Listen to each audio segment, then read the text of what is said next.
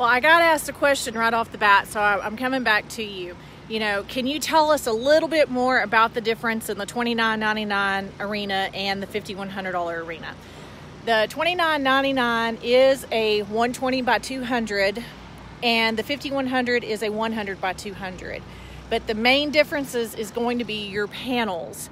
Um, see, I'm not too here. Here we go. So this is the two panels right side by side.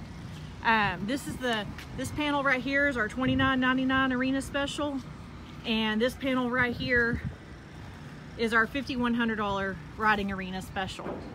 And one of the main things is you can see right here this panel right here has the shoe on it, and this doesn't. Uh, they both actually have the exact same leg. They are both one inch 16 gauge legs, but this is a one inch bar and this one inch bar, round bar right here is pretty light. Um, this panel right here, it's going to weigh 35 pounds a piece. You know, it's not gonna take uh, a horse just barreling into it. It's not gonna take a kid climbing over it. But it, once you put posts into this arena, it makes a terrific riding arena, um, a good containment area uh, if you've got some older broke horses to get into. This panel, on the other hand, if you're gonna be doing any riding lessons, if you're gonna maybe eventually expand into a roping arena, this is the panel that you need to go with. This one right here is going to be heavier than what you can get at Tractor Supply. This one right here is gonna be heavier than what you can get at your local store. It is one inch 16 gauge all the way. This is a 16 gauge bar. This is a 16 gauge brace. It has the shoes on it.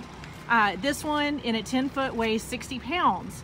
Uh, you've got 35 and 60. So you kind of see already right off the bat a lot of the differences in it. Uh, this panel right here does come with caps. These are caps optional. Uh, you can purchase them. It does have this brace here where it's welded, you know, on the outside and it has a, it's, well, you can't see it from this side, but you can go back and look at some of my other live videos and see it. And then there is the other heavier one. So, again, if you have any more questions, I do not mind coming out here on the yard, making pictures, making videos for you. I can a lot of if you're asking the question, I can tell you that there's probably another 40 people right behind you asking that same exact question. So don't ever feel bad about calling me, talking to me. I'll be so glad to help you. And I hope you have a really wonderful weekend and we will talk to you later.